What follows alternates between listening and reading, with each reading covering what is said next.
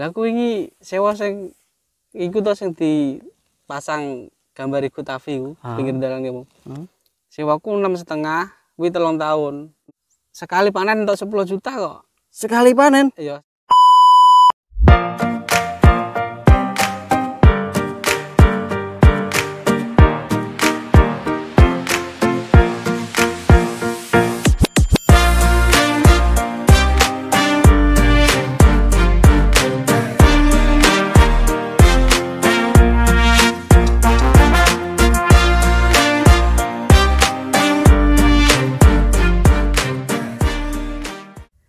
Oke deh mas. Hmm.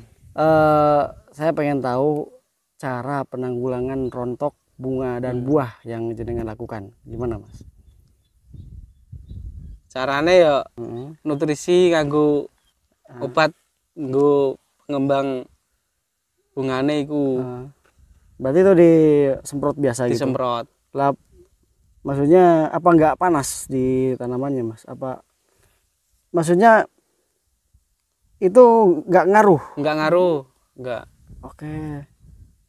Nggak ngaruh ke efek panas sama kebakar tuh enggak ya? Enggak. Yang penting aplikasinya itu kapan tuh? Waktu yang pas.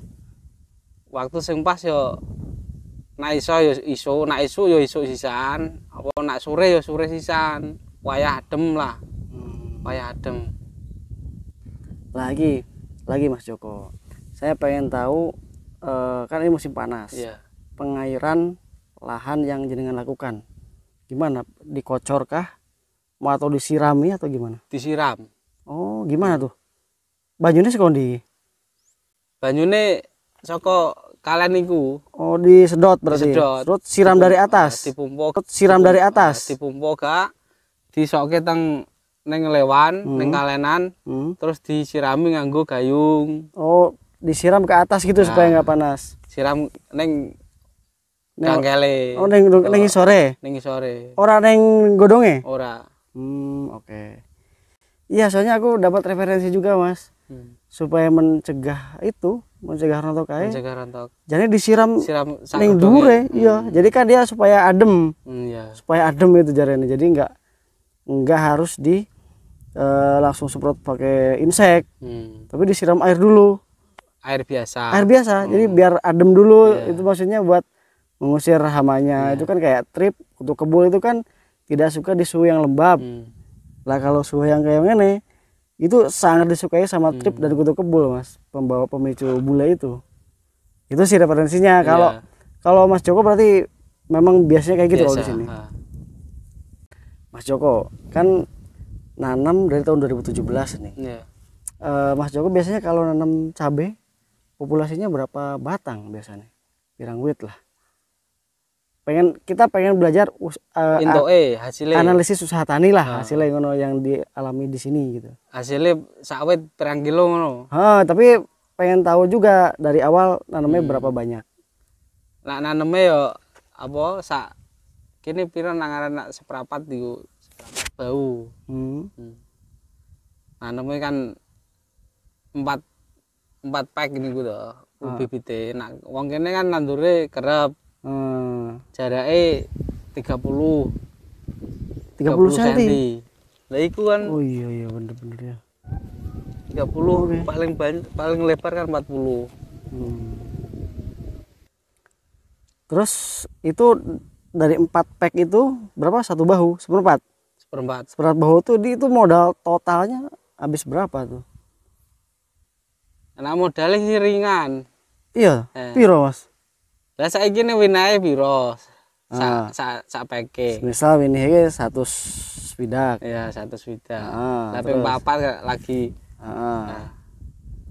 Dan terus apa? Ndek biaya tenaga kerja tenaga kerja itu kan yo ringan.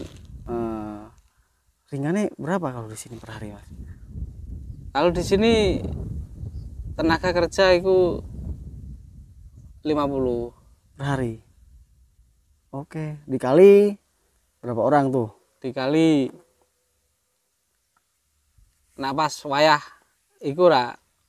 Eh olah monggo terserah Oh. rata-rata ke wae. Nah pas wayah. Panen kan empat orang lima orang. Hmm.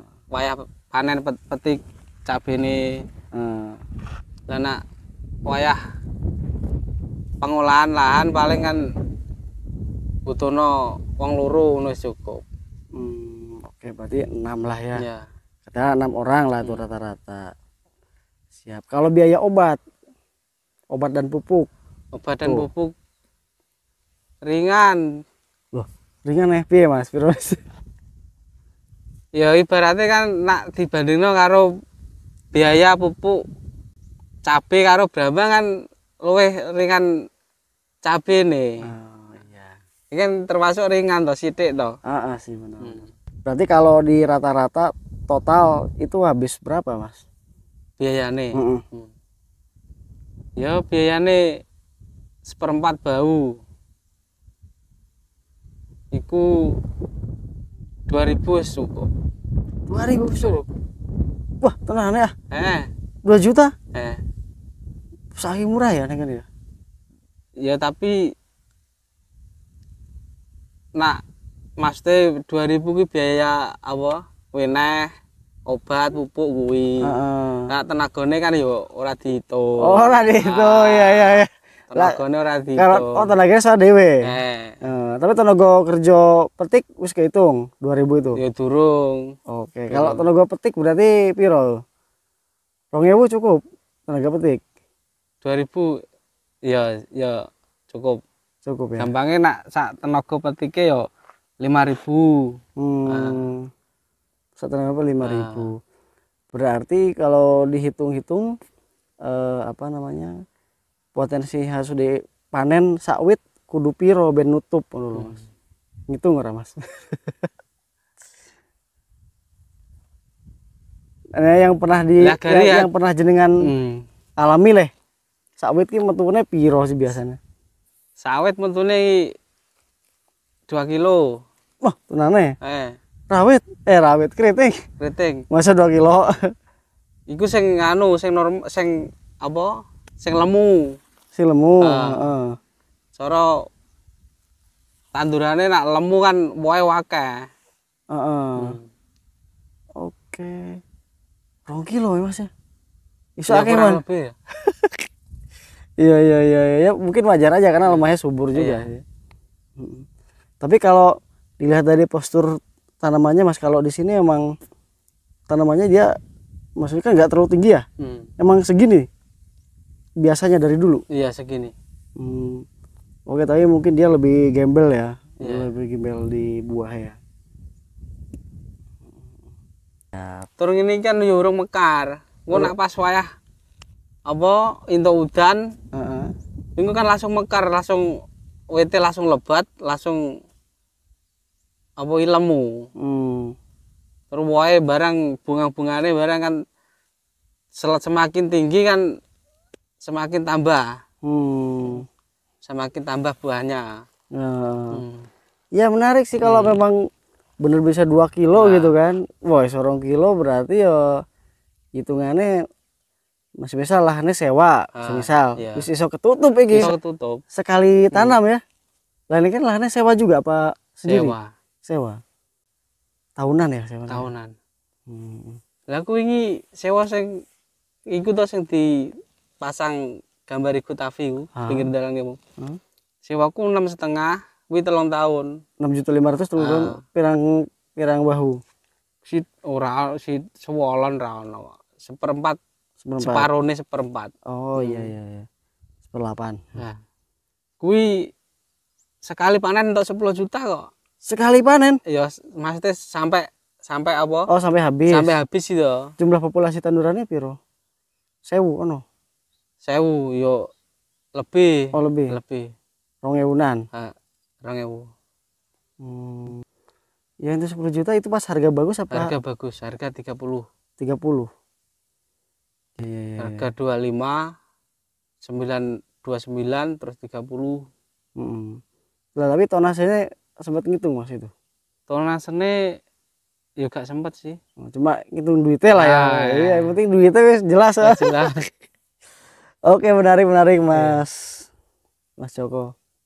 Oke deh, eh, ini eh, tambahan saya pengen tahu pendapat Mas Joko tentang Igo Tapi tadi kan udah dibahas secara umum di awal ya ya cuma pengen eh, mendetailkan lagi.